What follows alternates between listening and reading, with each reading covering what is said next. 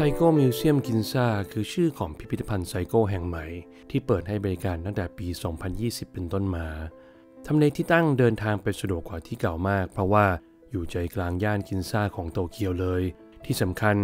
การตกแต่งภายในพิพิธภัณฑ์แห่งนี้ก็ดูทันสมัย และมีการคุมโทนให้เหมาะกับเรื่องราวที่บอกเล่าในแต่ละชั้นของอาคาร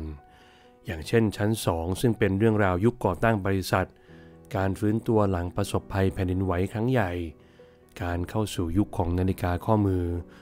หรือเมื่อขึ้นไปบนชั้น 3 ก็จะปรับแสงให้ดูมืดลงเล็กน้อย เพื่อนำเสนอวิธีการบอกเวลาของคนในยุคอดีตการ ทั้งทางฝั่งญี่ปุ่น เอเชียโดยรวม และโลกตะวันตก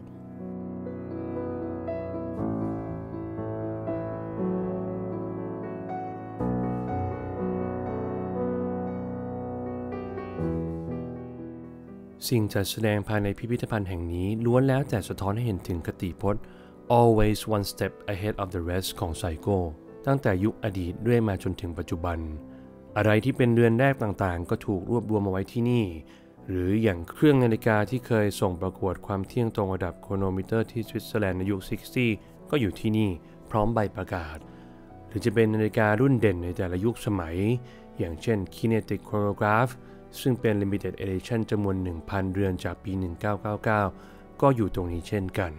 เอาเป็นว่าเราโชว์แค่พอเป็นพิธีเท่านี้ครับ เพื่อให้คุณได้ไปค้นพบด้วยตนเองต่อไป ไซโก้มิวเซียมกินซ่าเปิดให้เข้าชมฟรีทุกวันยกเว้นวันจันทร์และวันหยุดปีใหม่ รายละเอียดเพิ่มเติมที่เว็บไซต์ museum.psycho.co.jp รู้อย่างนี้แล้วไปโตเกียวคราวหน้าห้ามพลาดเลยนะครับ